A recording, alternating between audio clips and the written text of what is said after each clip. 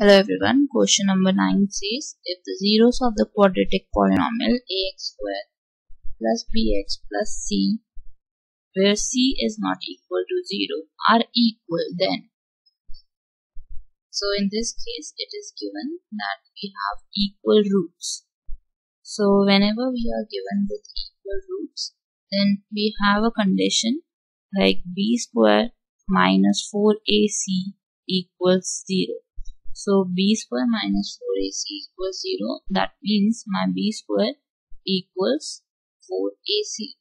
So b square is always positive whenever if you take minus sign. If I take minus 1 whole square, it will be 1 only. If I take 1 square, it will be 1 only. So this term is going to be positive always. So b square is positive.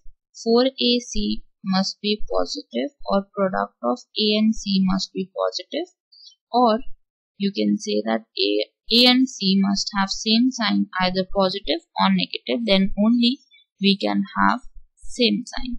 So in this case the right option seems to be C and A have same sign. So C is the right option for question number 9. Thank you for watching this video.